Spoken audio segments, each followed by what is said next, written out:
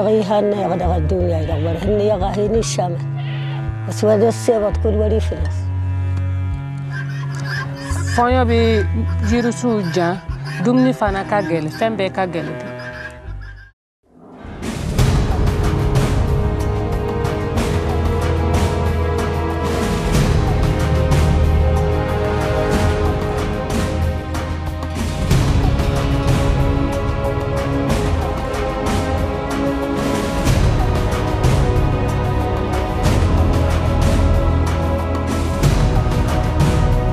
On today's Enlightening Entertainment, we present excerpts from the insightful environmental documentary Climate Chaos in the South The Victim's Story, directed by the gifted and caring filmmaker Meneer Geert de Belder from Belgium. The film presents the heartrending reality of people to whom climate change impacts are real and now. It has been praised for its unique way of highlighting the human side of the story. And it's the poor people of the world who are particularly vulnerable to the effects of the weather. You don't just emit carbon dioxide into the air, you lose livelihoods for the poor. Regarding the film, Tanika Dahaza, a photographer for Oxfam, commented The testimonies force you to take it seriously. The situation is clearly shocking even without showing pictures of catastrophes. Dirk Hendricks from the Belgian newspaper Gazet van Antwerpen wrote, A film for all who still doubt and for those who want to see the damages of climate change. With clarifications by experts and testimonies and pictures leaving a lasting impression, highly recommended. Maybe in the developed countries, you are just reading the books and looking at the television and seeing what will happen, but it is already happened.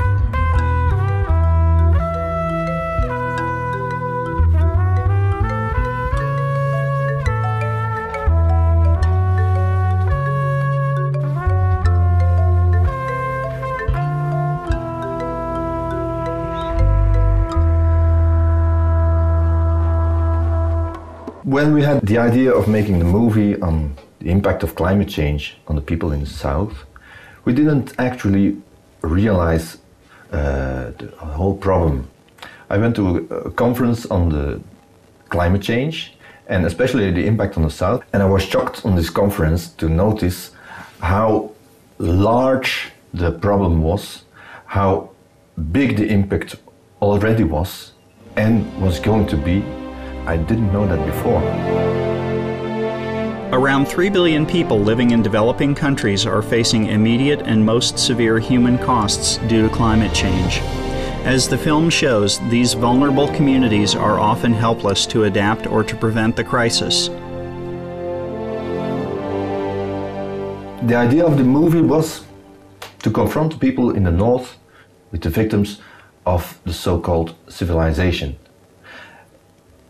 I could only hope that people who were confronted with with a real face behind a fact or a figure that uh, they would be moved by uh, hearing this story and um, hopefully change their lifestyle. Meneer de Belder's documentary was made in collaboration with more than 10 non governmental organizations, or NGOs, who helped him meet the climate change victims who were willing to share their stories. The making of the film led to a journey to four of the worst hit countries Burkina Faso and Togo in Africa, Ecuador in South America, and Bangladesh in Asia. They testify to the fast increasing havoc that they face daily as a result of climate change. Está en anormal, porque estamos viviendo una sequía que no es normal, porque estamos todavía en, en épocas de meses de lluvia. Hasta mayo se extiende en los inviernos normales la lluvia. Así que ahora estuvieron en plena producción. Este maizal que ustedes pueden ver aquí debería estar ya con la mazorca, ¿no es cierto?, de maíz ya formada. Pero pues se dan cuenta que está ya perdido. Está perdido. Y de estos hay, se multiplican miles y miles de agricultores sobre este mismo fenómeno, ¿no? We wanted to have these particular stories to make the facts into persons and into real uh, experiences. Many of the farmers we interviewed, they didn't know about climate change. Yes, they did know, of course, they knew climate had been changing since a few decennia, but they had absolutely no idea where it was coming from, and, or, or that it was a global phenomenon. Director Geert de Belder knew that it was also important to present not only the individual's personal stories, but also a larger and objective perspective. Thus, he interviewed a number of prominent climate experts, such as British climate expert Lord Nicholas Stern and French glaciologist Bernard Francou.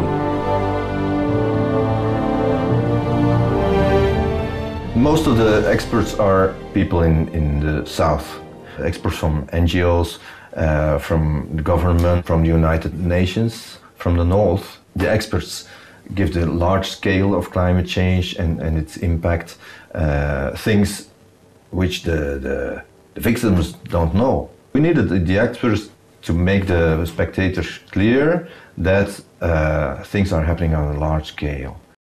Euh, le nombre de victimes euh, potentielles ou de personnes affectées en tout cas par l'effet des changements climatiques sur les ressources en eau par exemple se chiffre en centaines de millions, euh, peut-être un milliard de personnes qui risquent d'être affectées dans leur vie quotidienne dans, la qualité et la quantité de l'eau disponible.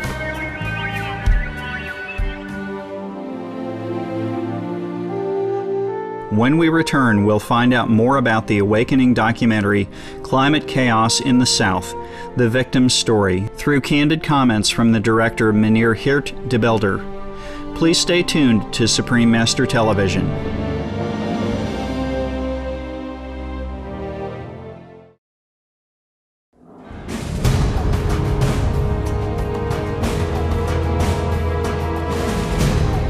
Welcome back to today's program about the environmental documentary Climate Chaos in the South The Victim's Story, a Wereldmediatheek production directed by Belgium director Geert de Belder. With a balance between victims' testimonies and expert insights, this original film delivers a convincing message to viewers. The message of the film is climate is already changing, that there are many victims already that there will be more and more and more. It's going to be a disaster that's overshadowing all other uh, kinds of disasters or wars you could imagine. The documentary is divided into named chapters such as Agriculture in Decline, Fresh Water a Scarcity, Life Warms Up, and Disasters on the Up about how the quality of life, including aspects of health and even survival, are impacted. We ko kata ikko ngari gaga ikko katorum dik ngorum dik ngorum dik nga kal kal kal kal wat kan lori heino dinka tur fo yon goni rigi dogo ri ko nga. We di yon gate we kan go kriyari hala lori hagato inan kat heino komarse ilimu yek dik nga. So we boren de zankai ikul morganta hele dik hiri de ka bari ga zam kan sai ilal bere kan go ne su honda ba arwasi ilal bere gon sahan There is also a section called Sea Levels Continue to Rise and No Choice But to Flee, which zooms in on the individuals who are on the verge of becoming a climate refugee. And we know that the coastal areas, about millions of people are living there, maybe 20, 30 million people are living there. What will happen to these people?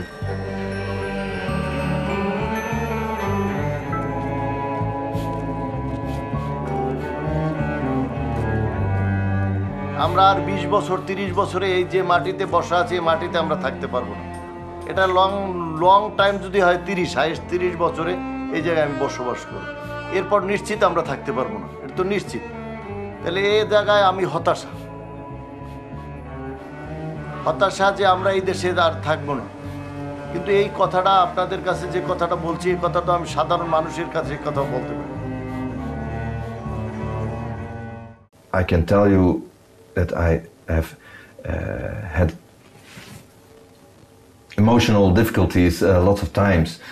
Uh, in Bangladesh, for instance, uh, people in Bangladesh are so beautiful and beautifully clothed and, and so sympathetic when a woman is talking that, that she lost uh, her kids in, in a cyclone, uh, which are more and, and heavier than, than, than ever. It's not easy for to sit there as a, as a part of the North. Eh?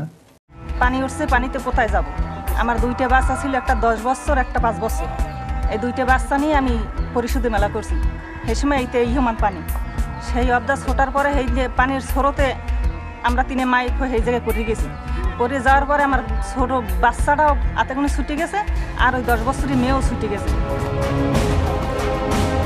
But the film also concludes with hope giving directions with constructive sections titled Adapting Out of Necessity and Mitigation is Prevention. I was so happy when the last interview we did on the last journey, that was Bangladesh, uh, it was uh, someone from the United Nations, a climate expert, and he said, Yes, it is the fault of the North. Uh, they are to blame, but they didn't do it on purpose. I put it in the film also, this, this uh, fragment, because that's a, a, a nuance that's very important, I think. We are not really to blame, but yes, it's up to us to correct this. In order to correct the far reaching problem we as humankind have caused, Mr. De Belder urges more and immediate action. The more adaptation and mitigation, the less suffering. Mitigation is uh, is a big effort. We we find that's a big effort to take the train instead of the car. I prefer the car. Yeah, no, you have to do all kinds of things that are not so pleasant as before to save energy. But adaptation, which is the second thing to be done, will ask still much more efforts than mitigation, and it will cost lots more money. And there are many things we can do. We, uh, on, on the um, transport side or energy saving side, that's one thing that, has been stressed by uh, governments, etc. But there is one thing still more important, the methane, eh? uh, which is caused by the uh, large-scale uh, livestock breeding uh, worldwide. so it's even more important to stop eating meat or to downsize the meat on, on your plate. And the more we do now, the cheaper it will cost. The more we wait, the, the more expensive it will cost to, to stop the negative impact of climate change. They must stop the overconsumption. They must be brave enough to come out of their comfort zone. This isn't a question of giving up paradise. This is a question of giving up a very dangerous, dirty path and going on to a much more attractive one. Les scientifiques, eux, donnent le diagnostic. Ils savent pourquoi le climat se réchauffe. Ils savent pourquoi les glaciers reculent. Mais ce qu'il faut maintenant, c'est une prise de conscience de la société et des mesures politiques, rapidement, sans attendre. Too much, I see people in, in uh, stuck in dialogues and battles and, and uh, negotiations forever and ever and ever. We don't have the time. We have between 10 and 15 years within which to address the very serious issues of climate change, of the loss of ecosystems, and of the destruction of biodiversity. Without these, there is no life on Earth. Climate Chaos in the South, The Victim's Story, continues to be shown to audiences in countries around the world. For more details about this documentary and screenings, please visit www.climatechaos.be. We thank director Geert de Belder, the film crew, and all involved in the production of Climate Chaos in the South The Victim's Story for a film that touches our hearts and informs our minds while inspiring us to make the more than worthwhile lifestyle changes that will save lives. May all of us world citizens awaken now to adopt the simplest and most effective change of all, a meat free lifestyle, and thus preserve our planet and all precious co inhabitants. Thank you for your presence on today's enlightening entertainment. Please now join us for Words of Wisdom up next after noteworthy news here on Supreme Master Television. May our world be blessed with grace and protection. For more details, please visit www.suprememastertv.com forward slash EE